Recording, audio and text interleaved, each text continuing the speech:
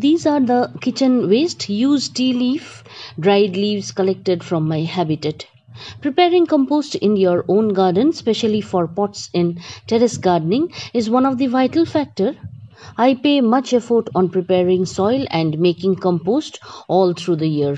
Every day after cleaning garden, collect dry leaves and they decompose gradually day after day. These are all garden leaves which I store in large bags since many months, maybe from January. Obviously, every after 7 days, surely make a layer of garden soil over the decomposing components. Prepare compost for your plants from your kitchen waste like veggie peels, fruit peel, tea leaf, dried leaves from your garden, eggshells, banana peels, and above all, if you have a neem tree. Neem leaves kill germs, aphids, mite, and other harmful insects. Now let's check the end result after 6-7 months. Here there are 3 large pots, 24 inch pots. Just stay tuned until end, we'll show you. Now here there are 4 bags of decomposing components which will form compost eventually. Making compost at home is a lengthy process but why throw decomposing elements? You know, friends, these are simply gold. If you can decompose veggie peels, fruit peel, dried leaves, then they are the best manure for your plants. Hence, I rarely add chemical fertilizers to my plants. On all my uploads, I always say that I rarely fertilize my plants, as you all know. The final compost is almost ready after 7 months, and I have kept them in three large pots. This is eggshell crush, made it on mixer grinder. This is bone meal purchased from market. And beside this is neem extract. Today I will add bone meal, neem extract and eggshell crush to all the three compost bins.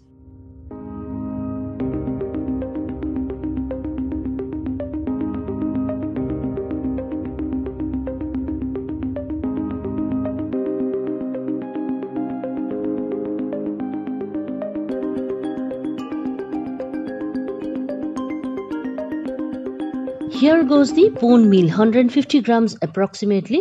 कुछ अंदाजन डाल रही हूँ, तीनों pots पर 150 ग्राम शायद होगी, और यह है नीम खली।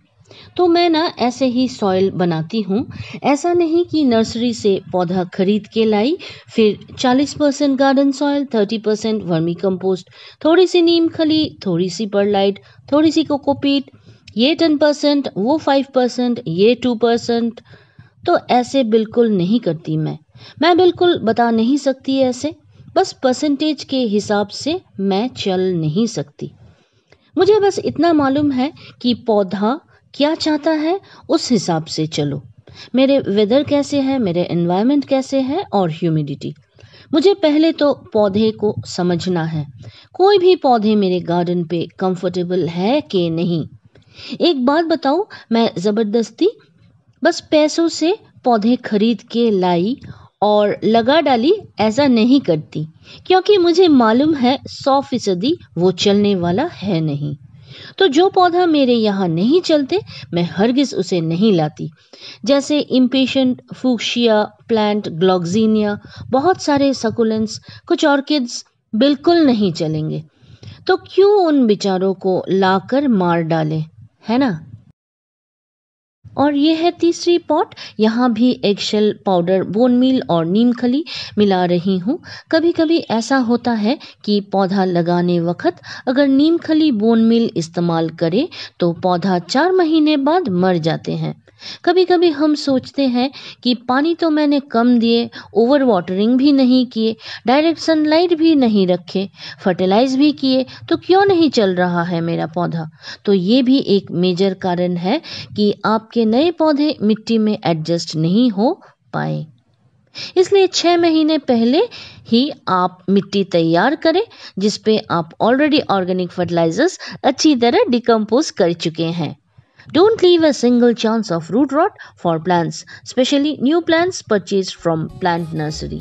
तो जाते जाते फ्रेंड्स मैं आज आपको कुछ मेरे गार्डन के पौधे दिखा रही हूँ। कितने सारे ट्राइस्टर देखिए, पास है कैलाथिया, बहुत बढ़िया ग्रोथ है, आप देख लीजिए। तो फ्रेंड्स ऐसे कंपोस्ट बनाइए अपने गार्डन पे और हाँ कभी कभी थोड़ी पानी छिड़के और थोड़ी थोड़ी सॉइल मिलाते रहिए। छह सात महीनों में ज़रूर कंपोस्ट तैयार हो जाएँगे। तो बस आज इतना ही, मिलते हैं अगले वीडियो में कुछ नए इन्फॉर्मेशन के साथ। सब्सक्राइब करिएगा ज़रूर। Much love from Garden Hill bye bye